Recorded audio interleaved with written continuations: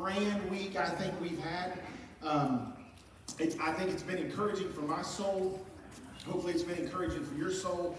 Uh, same format tonight. We're going to have a quick prayer, and our praise team is going to come sing a couple songs and prepare our hearts to hear uh, from, from Phillip Herrington. So uh, I left my notes. That's what I was looking for. Somebody's got my sticky note with all the information on it. But we'll, we'll give it a shot.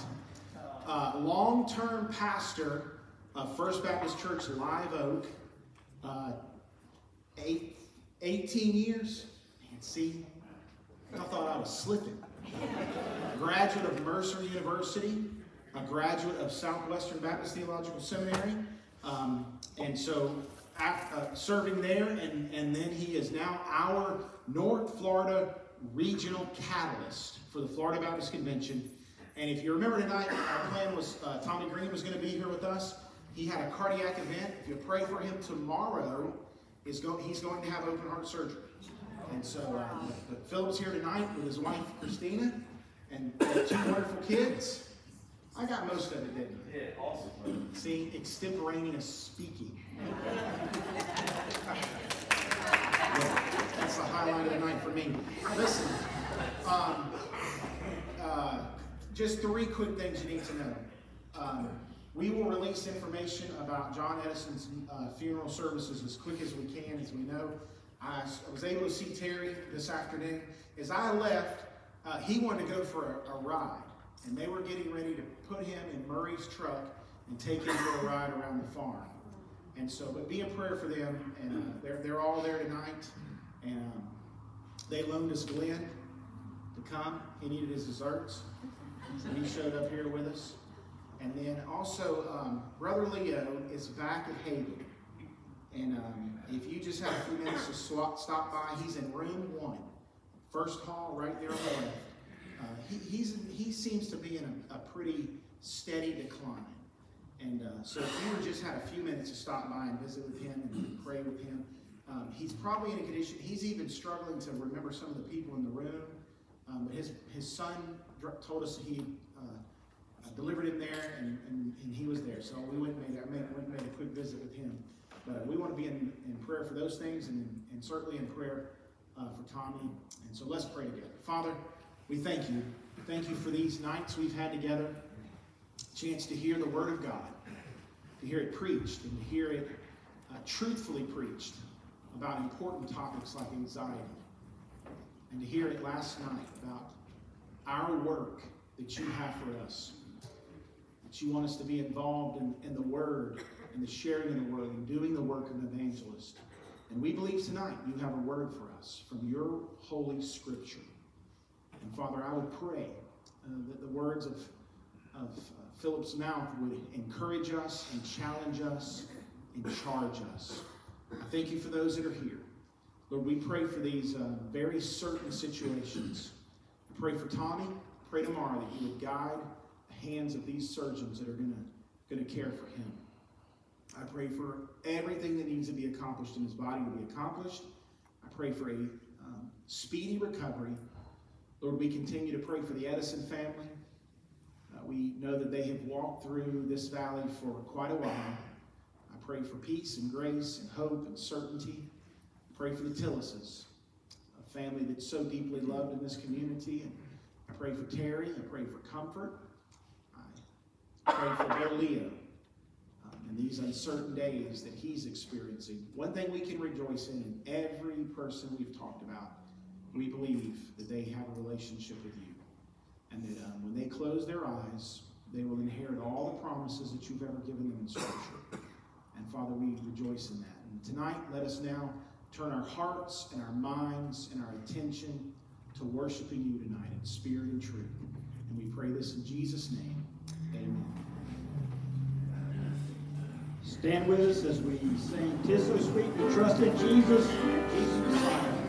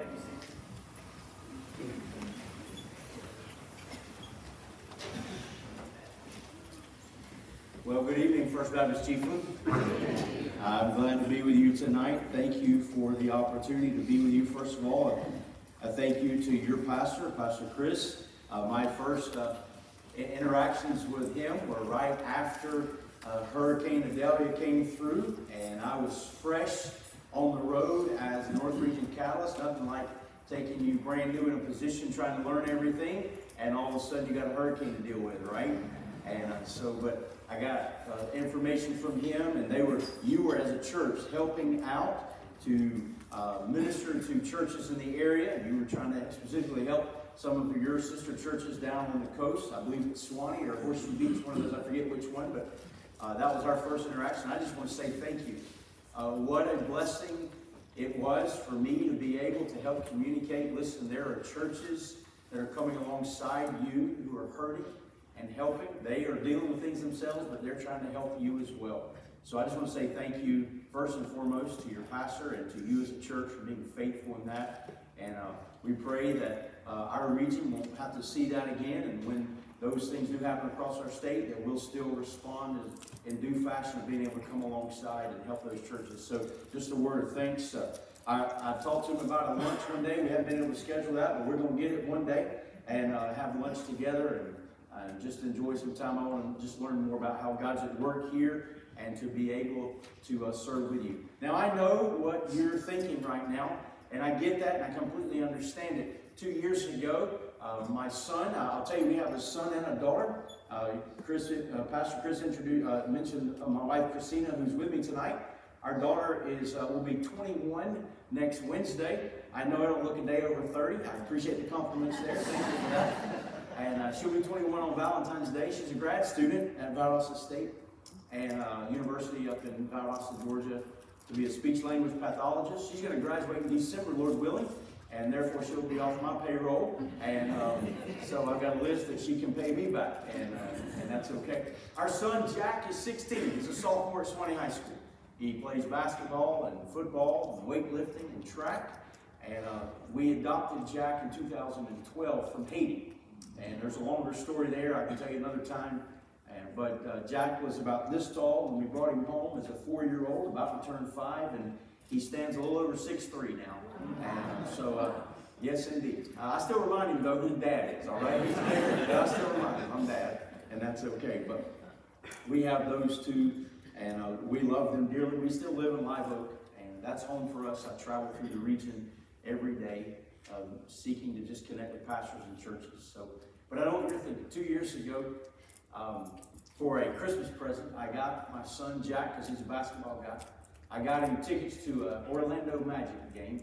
He wanted to go watch a professional game. I said, we'll go to Orlando. And at the time, my, my daughter and her boyfriend wanted to go, so I got four tickets. And we hauled off to Orlando to go to the game. This was in 2022.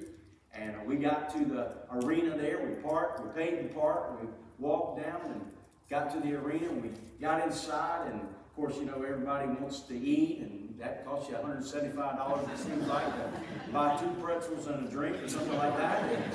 Um, so uh, we were gonna we were gonna eat, and um, we got into our seats, and I wasn't paying for the for the expensive seats. You need to understand. I mean, there, there were four of us that were going. I told you, my daughter's still on my payroll, and my son's on my payroll, and so was the at that time the boyfriend. So I mean, I wasn't we got some cheap seats. And we got up there and they, they went to introduce the Orlando Magic.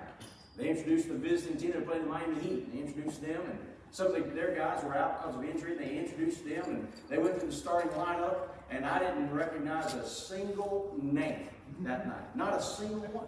Now I'm not a big basketball fan, but I did know a thing or two. And I looked at my son. I looked at at that time my daughter's boyfriend, and, and uh, he looked at me and just shook his head. So we did a really quick Google search. Turns out that on that day, they had called up three or four of their players from their minor league team out of Lakeland, Florida, because the rest of their guys were sick or injured. And I said, well, isn't that justifying note? Spend all the money to buy the tickets, and we got to watch the subs come play. I know what you're thinking. And you didn't tonight. You didn't get the, listen, I don't, get didn't pay for that. But I'm just simply saying, you came for Dr. Green and you said, we got a sub. All right. I understand. I get it. I get it. Thank you for your grace and your mercy. And uh, we're going to trust that the Lord Jesus is lifted up. I do want to say a word of thank you to, on behalf of Dr. Green and. Carey. Uh, thank you for praying for them. We have had our leadership team meeting this morning on Zoom, which we do about every week. And uh, he joined in on that Zoom for about three minutes this morning. Uh, he joked with us because he was in the hospital bed. and He had his hospital gown on. He said, "This is the new Florida Baptist Convention swag we're going to give out." Guess, right? And um, but you pray for them as he has that surgery. Their sons are with them there in Jacksonville. And I know that he would want to be here tonight. And I know that he would want to be at home as well.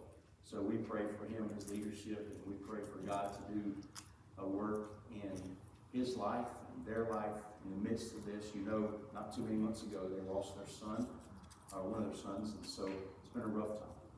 So I'm going to invite you, would you just pause with me right now and let's pray for them. I know we have already, but let's pray again.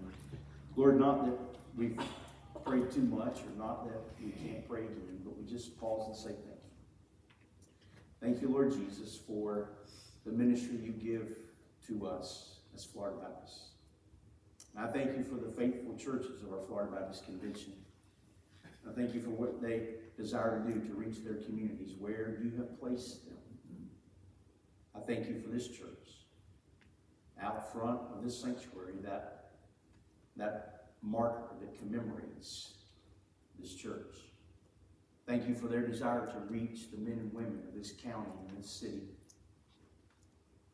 Reach out from here to this state and to this nation and to the nations of the world with the gospel of the Lord Jesus Christ.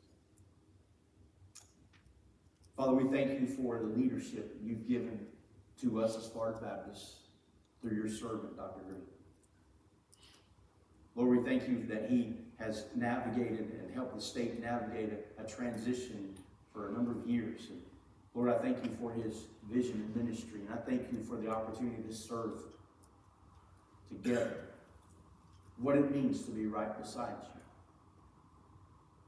Lord, I thank you that as he has pressed that into the lives of those who work with him, to be right beside pastors and churches and to encourage and to strengthen and to celebrate.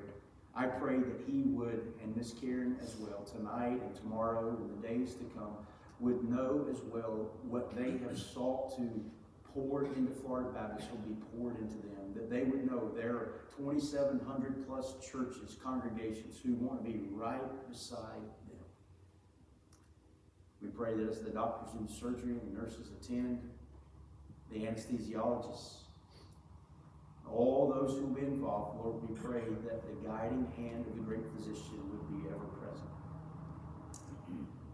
Give us great wisdom on how we continue to pray for them and pray with them and to serve for the sake of the gospel. We know that you know all things and you're in charge. So, Lord, our prayer, though, your will be done as he goes through this surgery, that he would be strengthened from it, that, Lord, he would um, be healed of that which has been causing the issues. Lord, he would in due time be back home as husband, father, grandfather, and he would be back in due time serving across the state, helping and encouraging churches, preaching, teaching, celebrating all that you've done.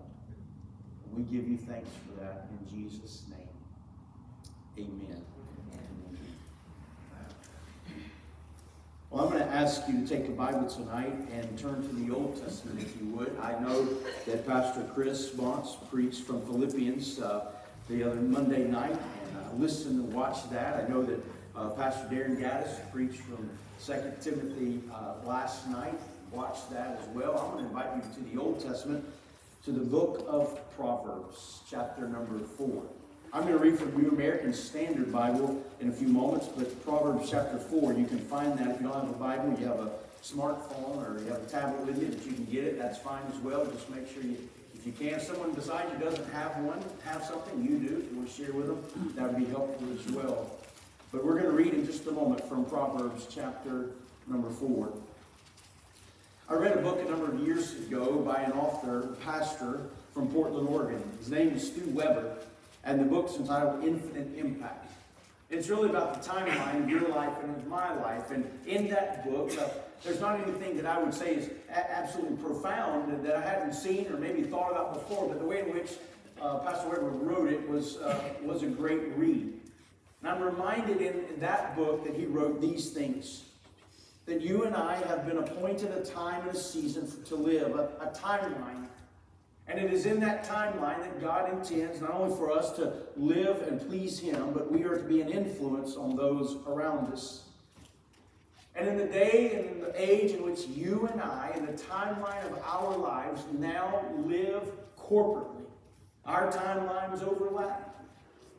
I heard your pastor tonight talk about some timelines of those in your church, those that you're going to gather around those families you're going to reflect on life and you're going to celebrate life and you're going to grieve for those who grieve. We've given, been given a timeline. And in that, you and I want to please the Lord. But we live in a day and age when we are inundated with conversations, we're inundated with articles, we're inundated with um, the, the dealing in our own families Pastor Chris touched on this of the struggle that we face with social and mental and emotional anguish. Barna Research was preparing to produce a work entitled The Connection, Connected Generation. They surveyed some 15,000 individuals from 25 countries speaking nine different languages, and here's what they found from that survey that of the 18 to 35 year old category, only one third of those who were surveyed said, I often feel deeply cared for by someone else. Only one third. I got an almost 21 year old and I got a 16 year old. Two thirds of them said that they don't feel deeply cared for. When we just focus on the data from the United States of that 18 to 35 year old uh, population that were surveyed, 49% of those in that category, 49% said that they have anxiety over important decisions and they were afraid to fail. And almost 40% said they often feel sad or depressed. 35% they all said they often feel lonely and isolated.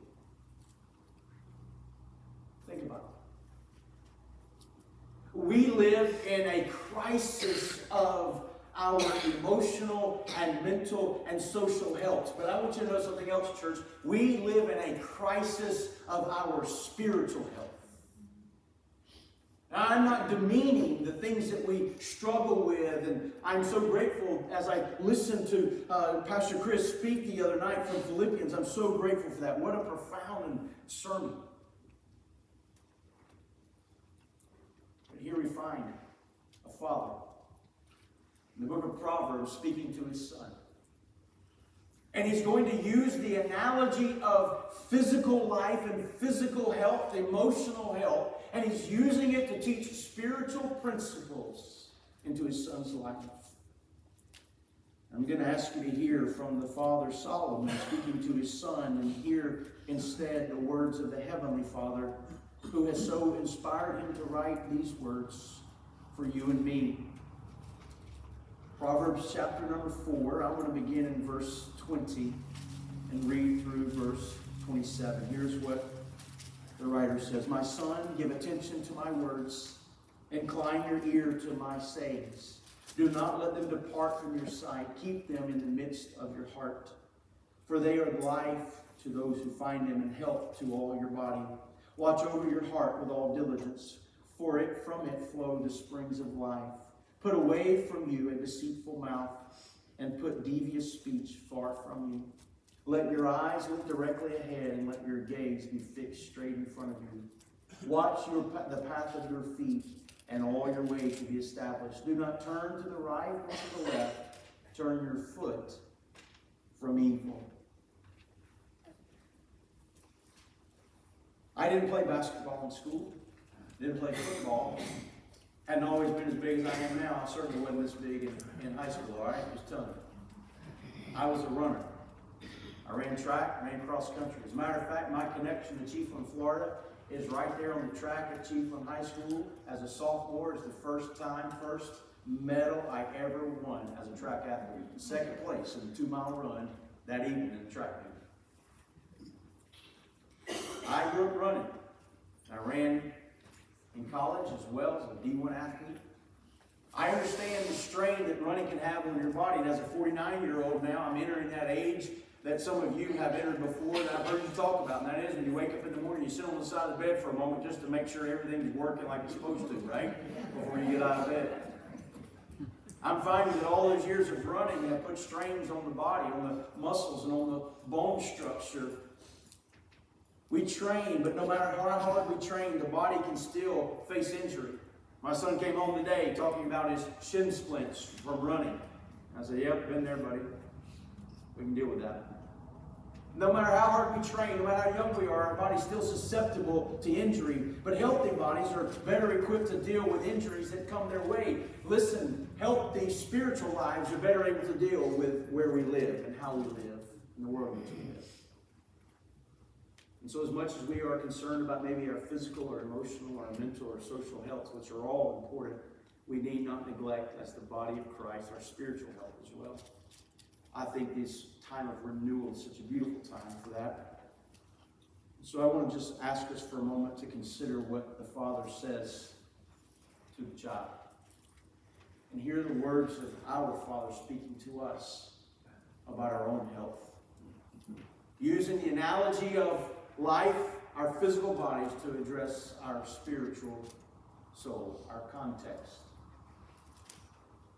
See, spiritually healthy people, when we listen to the Father here, we recognize that spiritually healthy means that I have healthy ears that are tuned to wise words. Have healthy ears that are tuned to wise words. Listen to what he says again in verse 20. My son, give attention to my words and incline your ear to my sayings. I studied business at Mercer. I lived with two roommates who were doctors. And so while they were busy putting together molecules and such, I was watching Sports Center or playing basketball or doing something else. The ear is an amazing thing. The way God has so designed the ear to take that which is a sound, and you and I, it's a wave, and we are able to then translate it into a, a sound. Just make, just humor me for a moment. If you're an audiologist in here, an expert in that, then just humor us because I can look up a Google article like the rest of us, all right? The auditory system has three parts an outer, middle, and an inner ear. And the outer and the middle ear ensure that the acoustical vibrations from the air are transmitted to the liquids in the inner ear. And once in the inner ear, those vibrations are then transduced into electrical impulses which travel along the auditory nerve to the brain. And the brain interprets those impulses as sounds and connected those sounds to other expressions and experiences to determine volume and type of sound. Isn't that amazing? That God has so designed us to be able to take that which is a, a wave going through the air that we cannot see, yet it, in our ear it is transduced into an impulse that goes through our brain. So what you're hearing in your ear tonight are waves coming out of my mouth. So the writer says, give attention. It's an imperative. It means to, to give an ear, we might say. But he couples that with what it means to say incline. Again, another command to the son incline. means to turn. To turn to something. To extend to stretch out. So you and I kind of get the picture, right? It's like the dad saying to the son, pay attention to what I'm saying. Cup your ear and turn towards me so that you can clearly hear the words. That's why Paul wrote to the church in Rome and he said, faith comes from hearing and hearing by the word of Christ. Uh, how many of you have raised teenagers or raising teenagers right now? Anybody who willing to admit that? yeah. We call it the valley of the shadow of adolescence.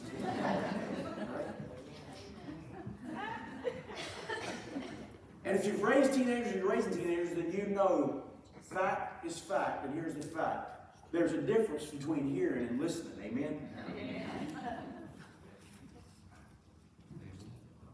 Our spiritual health says we need to have ears that are healthy to the wisdom of the Father. There's a lot of sounds, there are a lot of waves that are coming through the air. And they find a home in the canals of your ear and my ear. And they get transduced into pulses and move along a nerve to our brain, and we hear those. And some of those sounds are things that we don't need to hear, that we don't need to be listening to. Sunday night were the Grammy Awards. I don't watch the awards show, but I saw this on social media. I grew up in the 80s, and uh, if you were to ask me, uh, hey, Phillip, what do you think was the greatest decade of rock and pop music? I'd tell you the 80s.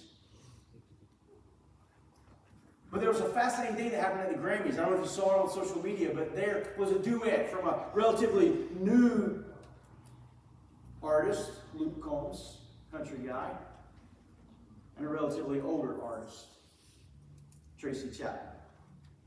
Back in the 80s, Tracy Chapman had a hit named Fast Car. It was a great little catchy tune. And everybody liked it. Chapman hadn't performed in front of a live audience in years. The story behind that is though, though Luke, getting his start, did a cover of that song. And that's where he really got his start. So, what a phenomenal moment to take those two artists from two different generations and put them on that stage And when hundreds were in that room and millions watching maybe around the world, there was a sense of being mesmerized as they watched Tracy Chapman strum that tune that many of them maybe remember back from 30 something years ago and listen to that. But there are tunes that you and I know as well. If I were practiced up enough, because I'm not a musician, I could walk over to that piano and just with the black keys, I could maybe ping out a little bit of a tune that you would know is also familiar.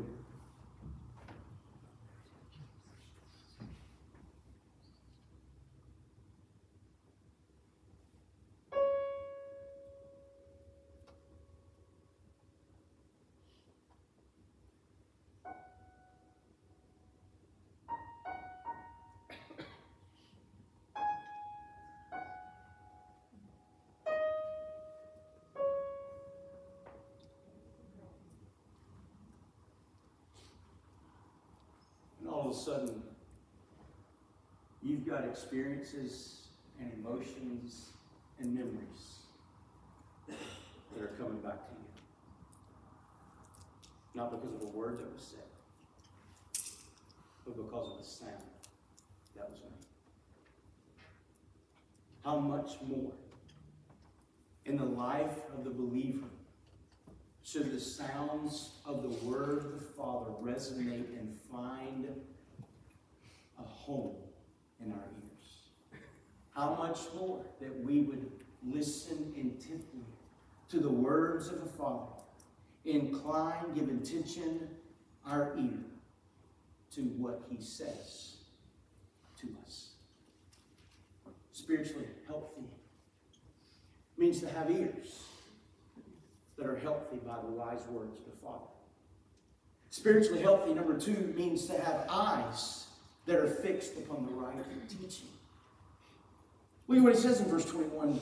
After do not let them depart from your sight, or excuse me, after he says, incline your ear to my sayings, he says in verse 21, don't let them depart from your sight.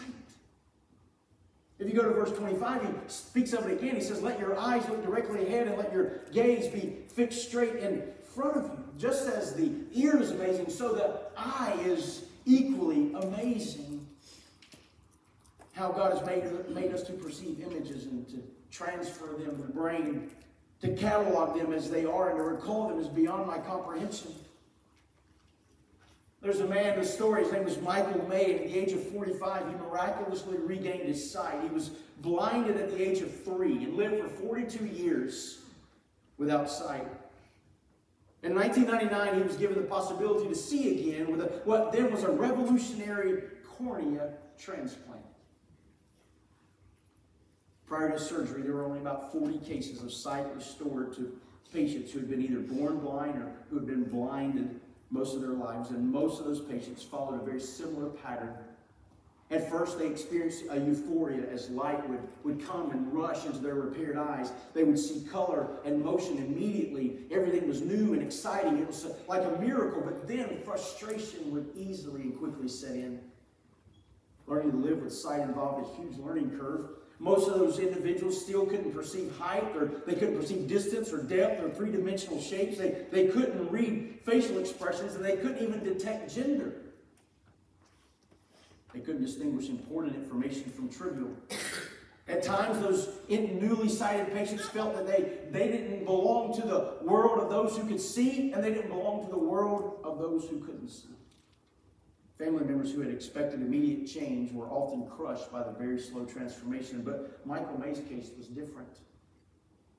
When the doctors removed the bandages from his eyes, just like the other patients, he could perceive he couldn't perceive space or height or distance or depth or three-dimensional shapes. The, the moon looked like a big blob to him. He couldn't read people's faces, but unlike the other patients, May didn't get discouraged. Instead, he approached his new world with an attitude of adventure and childlike wonder. He knew that learning to see again would involve not just one operation, but a lifelong quest to learn, to grow, to take risks, to change. And as he left the hospital, he would pepper, he peppered his wife with questions. What is this? What is that? Is this a step? Is this a plant, a flower? Is this a painting? Let me feel it. He rode elevators over and over and over just for the pleasure of trying to find the hotel lobby after. He played catch with his son, horribly missing the balls before he finally got the hang of it. He continued to struggle with his transition to the reality of sight. His world often looked like a huge abstract painting. High speed events such as the passing of cars or bicycles became something very frightening to him. Things often looked very close, frighteningly close. Other patients had felt discouraged or even depressed by this long, slow transformation, but May told himself that this was part of the adventure, that the leap forward was not really a leap at all if everything felt safe. And as a result, every day and even every failure seemed like a new opportunity for May to learn and to grow and to change. Listen, friends, without healthy eyes, sight is compromised, if not completely gone, and life can be frustrating. But with healthy eyes that are focused on the wrong thing, consequences can be devastating as well. When the writer here says, don't let it depart, the writer here says, don't let there be a deviation. Don't let there be a turning aside. Don't let there be a, a going away. From what? From the words of the Father given to you. In verse 25, when he says, look directly ahead, he, he's speaking towards that which is opposite of where I'm looking. So if I'm looking directly ahead, that means I'm not trying to look in the peripheral vision. I'm not even trying to look behind me, but I'm trying to look directly ahead. I want my gaze fixed. Spiritually healthy means we have eyes that are focused upon the Word of the Father given to us. I told you I have a 16 year old son. I've been a teenage boy. I know what that's like. And we finally, as parents, moved as a teenager into allowing him to have a way to communicate. It wasn't really anything that we necessarily wanted to do. We felt, in some sense, a compulsion to do that. And if you haven't let your teenager have a phone, that's neither here or there, just saying we did that. But I will tell you, one of the things that, that scares me immensely about that for him as a teenage boy are the things that he can find, even with all the parameters that I put on his phone. I read his text messages and he knows that. They come to my iPad. So I tell him, whatever you text your friends and whatever they text to you, you better tell them. My dad's going to see it. I can check his search history. We can put limits on things that he can do and he can't do, but I promise you, listen, the criminal mind never stops trying to figure out how to attack. And we live in a world, particularly in America right now, we live in a world where our young men, and listen, and our young ladies, but also all of us, male and female, are under the attack of Satan when it comes to the eyes. There's been research done. 32% of teenagers say viewing porn is usually or always wrong, but 56% of them would also say that not recycling plastic is wrong. Think about that. More of them say not recycling is wrong than saying looking at porn is wrong. Nearly three quarters of young adults, 71%, and half of teenagers, 50%, come across what they consider to be porn at least once a month, whether they are seeking it or not. And teenage boys to 25 year old boys, 81% of them surveyed said they seek out porn, and 67% said they do it monthly. On the young lady side, we used to think that that was just a, a boy problem, right? On the young ladies' side, teenage girls to 25 year old girls, 56% say they seek it out, 33% say they do it monthly. If eyes are fixated on that, then tell me where they're not fixated on this. If the eyes are fixated on the things of the world and the things of the flesh, then I can guarantee you that the eyes are not fixated on the things of God. And spiritually healthy, the Father says to His Son, Let your eyes not deviate from what I'm saying. Let your eyes look directly. Let the opposite of your eyes be the words of the Father. Don't let them turn away. Oh, we need to be people. We need to be people who, like the writer of Hebrews says, fix our eyes on Jesus, the author and perfecter of our faith. We ought to fix our eyes on the Word that is before us. Number three, spiritually healthy not only has healthy ears and healthy eyes, but the Father says it has healthy feet walking in the right path. Healthy feet walking in the right path. Look at verse 26 again. He says, Watch the path of your feet, and all your ways will be established. Don't turn to the right or to the left. Turn your foot from evil. For about 15 years now, my family and I have spent a couple of weeks in the summer camping in the mountains of North Georgia.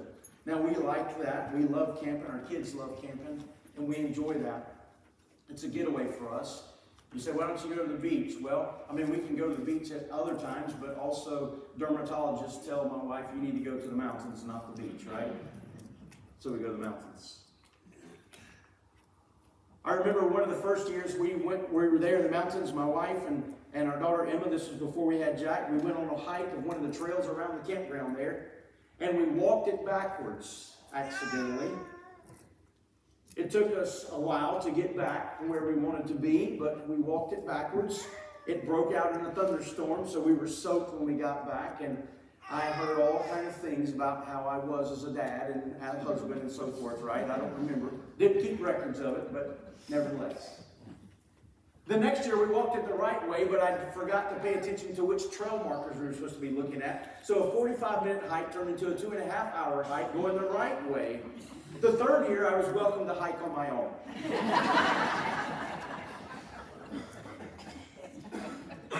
Not long after that, along comes Jack, and so Jack indulges and humors Dad, and we go for a hike. By now, after 15 years, we pretty much know the trail. But I remember those early years of walking those trails, my little girl was often between Christina and I, and I would lead the way, and then her, and then Christina would bring up the rear, and I would always say something to Emma if we were going to cross a little stream, and I would say to her, step on the rocks where I step. If we were going through a muddy place, I would say, walk in the footprint where I step. If we were climbing up, I would tell her, you step here first or step there. If we were going down, I would do the same thing for she and for her mom, just so that they would not fall they would have a safe place. I think part of that also was from my own upbringing. You see, I'm originally from, born in Cordele, Georgia. You know anything about Cordele? It's the watermelon capital of the world. Both my mom and my I'm sorry, I didn't mean to offend you. Cultural context, got nowhere yet. I'm sorry.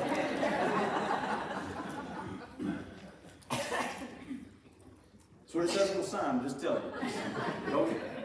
Just the message. And I spent many summers in the watermelon fields with my papa. And I remember as a nine-year-old boy in those watermelon fields my papa. And I remember following him as he would walk that because what we would often do is he would walk. Uh, we would never, only one of those years did we ever sell them in the field. And I praise the Lord for that. I didn't even know how to praise the Lord at the time, but I was just like, thank you, Lord, because we saw the semi pull up and we didn't have to load it. But every other time we had to load it. But he'd walk through and he would cut them and belly them up and we would pick them up and toss them to the, to the pickup truck. But I remember walking behind him and everywhere he would step, I would step. One, I didn't want to step on a melon under a vine. But two, I just kind of made a game out of it, I guess, as a little boy. I wanted to step wherever my papa stepped. And then in the evenings after Nanny would cook supper, and we would have supper, Papa would always take an evening walk around the field. He had a trail he had really just marked out around the edge of the field, all the way around. And I'd walk with Papa on that trail. I'd walk beside him and we'd talk, but a lot of times I'd walk behind him. And I'd make it a game, and everywhere he'd step, I'd just step. He'd take them big old strides, and my little nine-year-old legs would have to stretch to make this.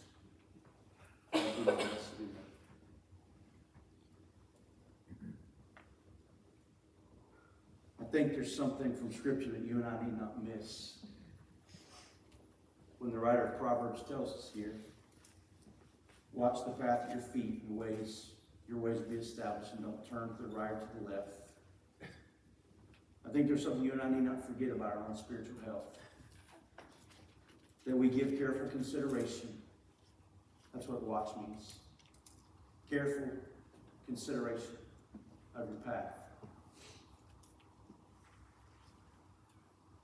Pay attention to the track that you're taking.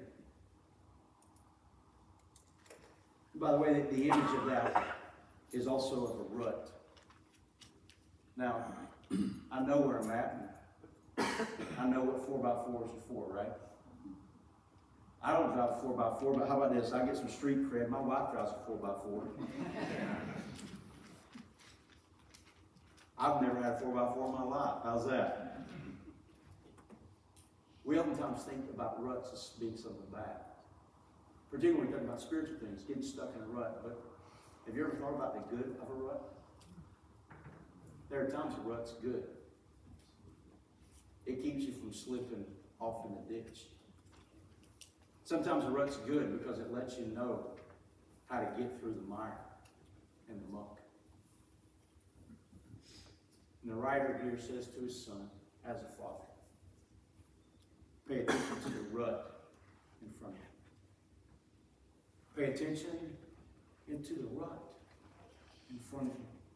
You see, that's why Paul, when he wrote to the churches of Galatia, he said to them, We walk by the Spirit. And when we walk by the Spirit, we don't carry out the desires of the flesh. That's why he said to the church at Ephesus, Be careful how you walk, not as unwise, but as the wise. That's why he wrote to the church of Rome, and he said to you and to me, as he said to that church, We walk according not to the flesh, but according to the Spirit. The rut of our lives is that we walk in the path that the Lord has laid out for us. We follow, based on his word, the path, the rut that he gives to us. Why? Because it keeps us from the ditch. It keeps us from the ravine. It keeps us from going off the side of the mountain. So I look at my spiritual health and I ask the question, Lord, how am I doing watching the path of my feet? How am I doing looking at the rut? Because there's a whole lot of people that have walked around me and with me, and I don't want to follow in that way. I want to walk in your narrow way. As a young pastor, I had a mentor, an older gentleman who was a pastor as a mentor, and we would do a pastor's conference, and he would do that. There'd be only about 10 or 12 of us who were there. And he would say to us, listen, I, am not trying to suggest that I have done it all, I know it all, and I, I, I, I know everything, but I, here's what I'm telling you. Just look at me as someone who has walked in ministry ahead of you guys, and I'm down the rut, and I'm hollering back at you, telling you which way to go. Or could we so look at our own spiritual lives? Could we so look at our health that we would be able to look behind us and it would be okay if our little daughter was following us spiritually? Not because we're anything great, but because we've so paid attention to the run of our lives. That we'd be okay with our son walking in our footsteps. Matter of fact, we would want that. We have to look at our own. Let me move quickly. I know our time is drawing close. Number four, healthy tongues that abhor evil. Healthy tongues. Verse 24. Look quickly at verse 24. He says, Put away from you a deceitful mouth and put devious speech far from you.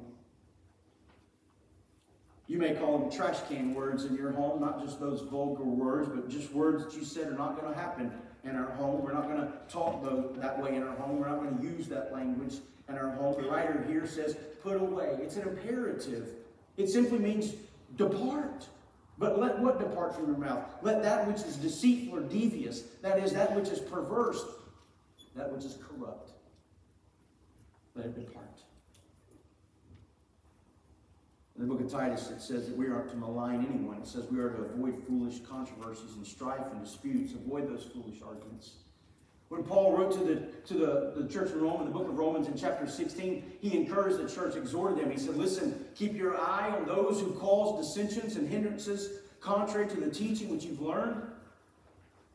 Hey, listen, because these men, they're slaves, not to the Lord Jesus, but they're slaves to their own appetites. By their smooth and flattering talking, they deceive the hearts of the unsuspecting.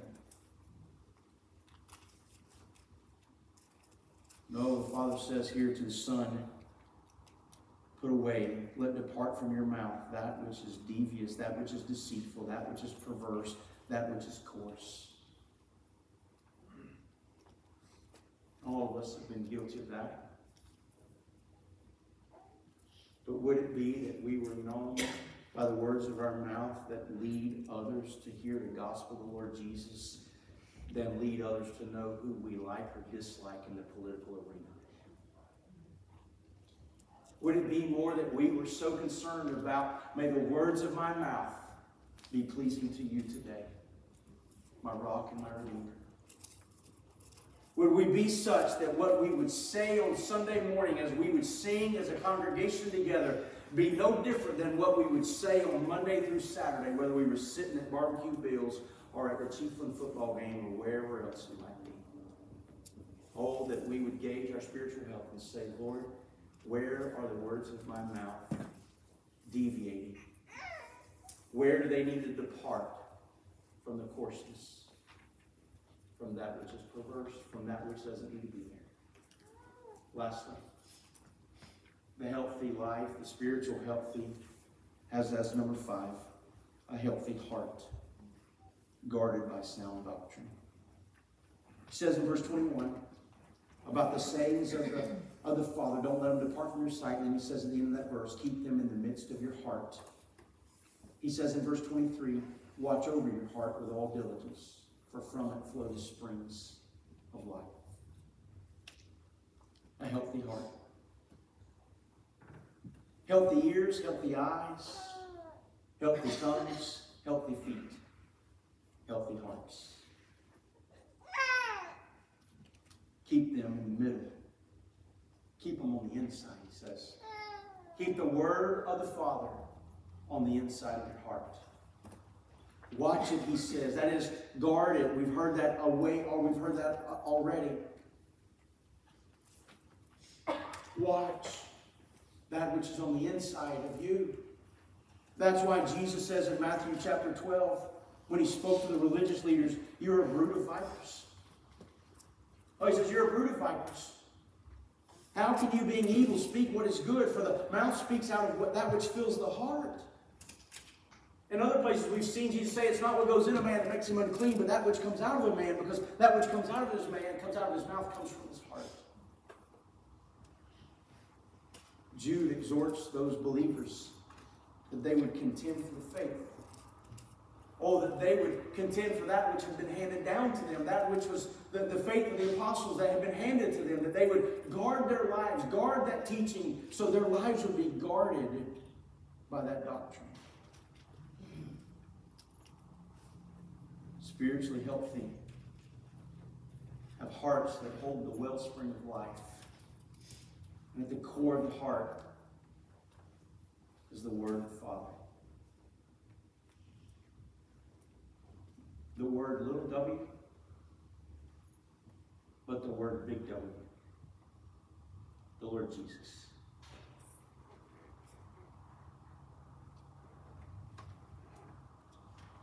I was at a Promise Keepers in Atlanta, Georgia one year, several, several years ago. I had to be in college,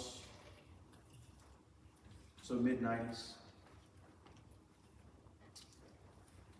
John Maxwell, leadership guru, speaking. All the young boys that were in that thousands and thousands at that dome in Atlanta they took all the young teenage boys out of that into a separate part, and left in that arena were just thousands and thousands of young adult and dads, men, some without sons, some with. I don't remember what Maxwell taught about. I'll be honest with you, I don't remember that. But I remember this. I remember that at the end of that, he said this Men, your sons are in the other room. They don't know what's going on in here. They don't know what we've been talking about. They don't know what, we, what I've been preaching about, but in, in a few moments they're going to open those doors, and, and your sons are going to come through those doors. Now, here's what your sons have been told. Your sons have been told that when those doors open, you run as fast as you can. They're at the back of the arena. You run as fast as you can, that 100 yards or so, to the other end of the arena and gather at the front of the stage. That's all they need to do. He said, but here's what I want you to do. When I count to three, those doors are going to open. And when those doors open, I want you men, you dads, you grandfathers, the men of the church, I want you to stand to your feet. And as loud as you can, I want you to call those men, those boys that you know by name. I want you just to holler their name over and over. If you don't know any of those, I just want you to cheer. And I want you to clap, and I want you to applaud for those, those boys who are running. They don't have any idea what they're about to face. They just know they're going to come running in. And he said, when I count to three, you do that. And when he counted to three, those doors open, and those thousands of boys, teenage boys, come running thousands of them down that aisle towards the front of that stage. And when they did, those men, those dads, those men who were seeking out healthy hearts and healthy ears and healthy eyes and healthy feet stood to their feet and with loud applause and calling the names, some of them of their own sons, cheered on those men, those young men coming behind them to stand strong. Oh, Oh, could we be a church? Could we be a people? Could you be a church, and will you be a church here in Chiefland, Florida, who would so have the healthy eyes and ears, and the healthy tongue, and the healthy feet, and the healthy heart, such that you are cheering for those around you and the generation coming behind you? I heard their feet out here. And you would cheer for them to heed and to hear the words of the Father you would cheer for them to be spiritually healthy. It's got to begin with you, though. Don't miss this. It begins with you and me because it began with our Savior, who with his own ears heard the crying of the sinner's life, who with his own eyes saw the despair of a broken world. Who, with his own sandal feet, walked among us as sinners, yet without sin. Who, with his own tongue, spoke not error, but only truth to do the Father's will. Who, with his own heart, went to a cross to pay a price that you and I, with sinful and broken ears, and sinful and broken eyes, and sinful and broken mouths, and sinful and broken feet, and sinful and broken hearts, could not pay. He went to a cross that you and I